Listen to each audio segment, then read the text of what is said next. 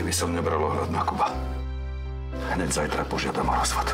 Jaj, to ste vy, tá stará korytnačka, ktorá Lenke strpčuje život. Si mladý muž! Prepáč, že som bola zbabela a nevedela som sa ti priznať. Všetci robíme chyby. To ma teraz zase vyhodíte však. Hlavne, že my sme k sebe úprimní. Uvidíte v ďalšej časti seriálu Kolonáda 2. V nedeľu večer na jednotke.